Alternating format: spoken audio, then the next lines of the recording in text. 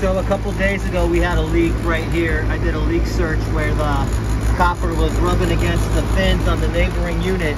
I'm gonna cut this piece out right here. This part got affected too. I'm gonna put my liquid line dryer right here.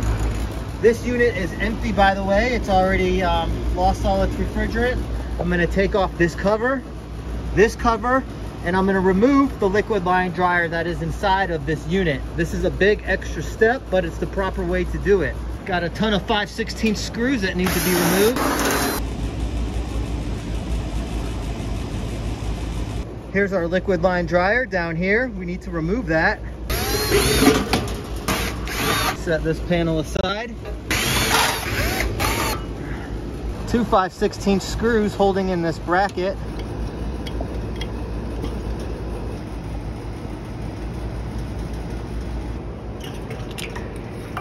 If you do decide to do this the correct way and cut this out, try not to bend, try not to move this.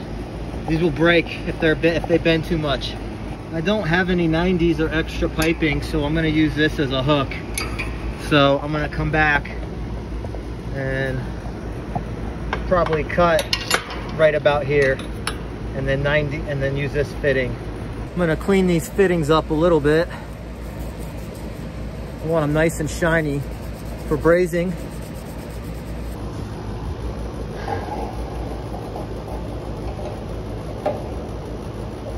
So I had to open this up with a swage tool and then I got a coupling a coupling right up here. So four welds.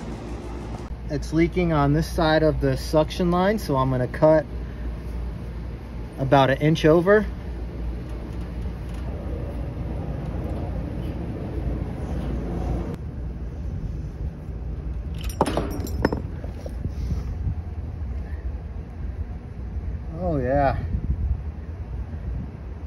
Nice leak. Have plenty of suction pipe so I can easily just make a small bend in this to fit that together.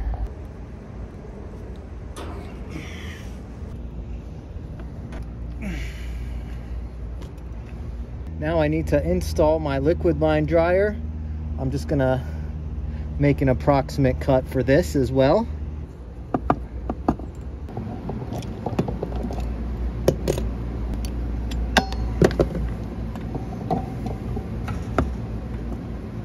Going to remove the valve core from the Schrader valve on the liquid line.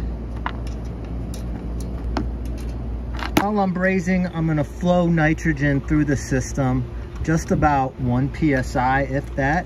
I'm going to use the regulator just until I hear a small little hiss.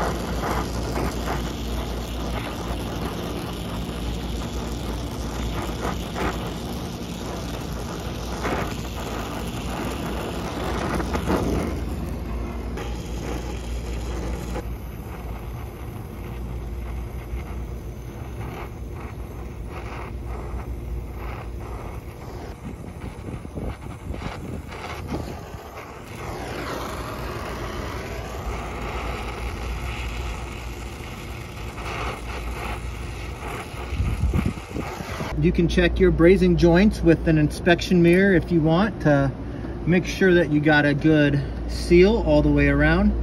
After you do that, put your Schrader valve back in. We still have the nitrogen hooked up. I'm gonna slowly open this. Oh, I'm gonna open my suction valve. I'm gonna feed nitrogen through the suction side and preset this to about 200 PSI. I'm also gonna feel around all the joints that I brazed and see if I feel any air. Make sure that you make that you let these pipes cool though before you go feeling them. This bottle of nitrogen is not going to 200 PSI. We are all out of nitrogen. That's okay. 100 PSI is not optimal, but um, it's better than nothing. I'm next gonna go over all of my fittings that I brazed with soap bubbles and then monitor those fittings.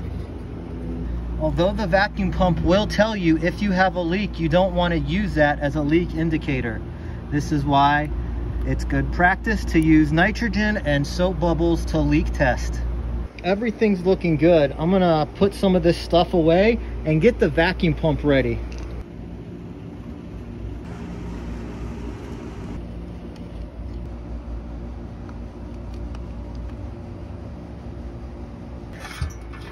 Gonna put this in place for now.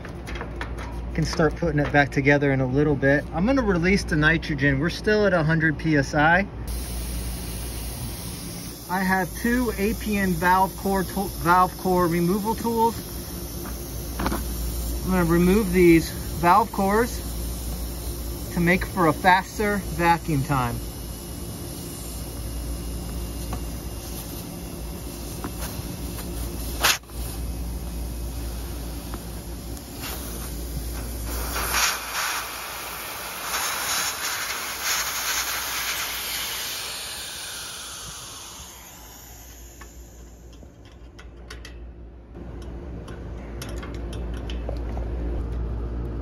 Just hand tight.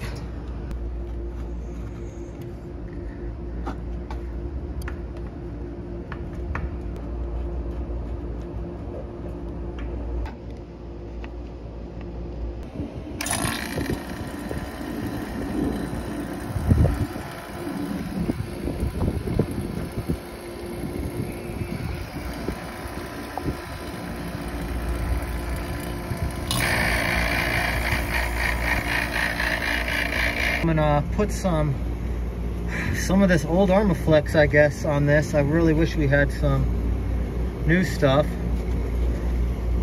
But I don't want this leak to happen again. I know the textbook way to do this would be to break the vacuum with nitrogen just to recalibrate that micron gauge and um, triple evacuate the system. I'm very aware of that. The problem is I'm out of nitrogen.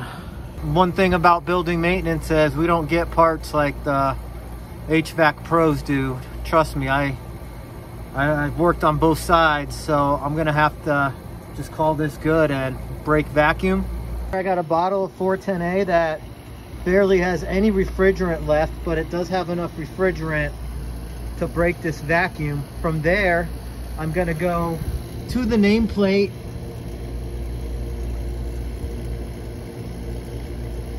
and then I'm gonna weigh in my charge of 70 ounces of 410A.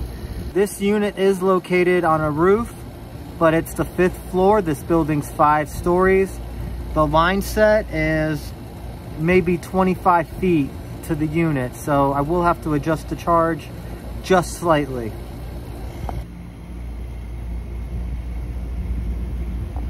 Goodman recommends 300 microns or less on when you open up their system. We're at 295.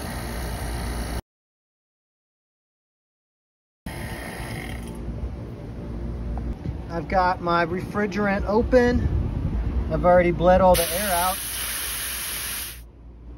And all I'm doing now is just breaking vacuum, that's it.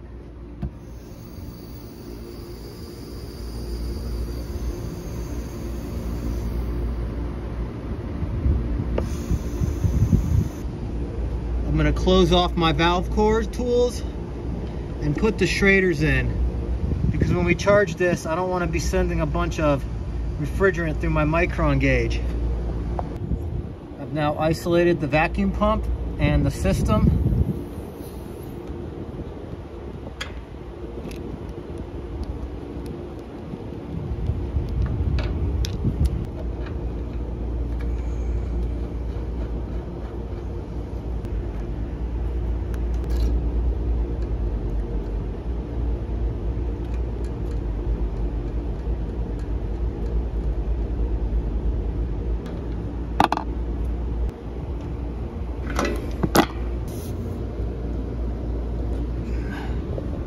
sitting at about 2 psi. New bottle of refrigerant. I already weighed it full.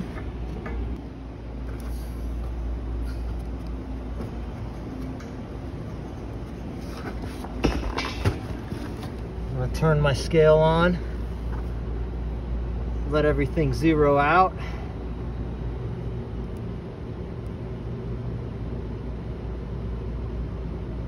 Right, I'm on a nice even surface. Now I'm gonna hit zero and I'm gonna go to 70 ounces, which should be four pounds, six ounces.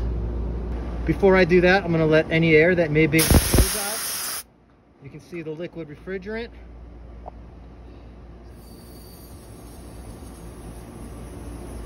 And now just pay attention to your scale.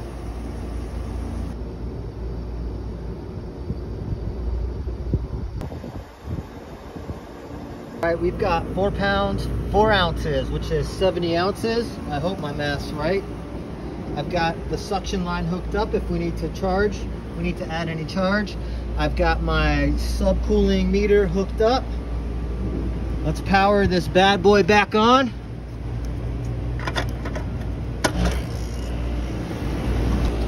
Now I'm gonna give it about five, 10 minutes before I start adding any charge. Our subcooling is at six degrees. I'm just gonna add a little bit, see if I can bump that up to eight or nine.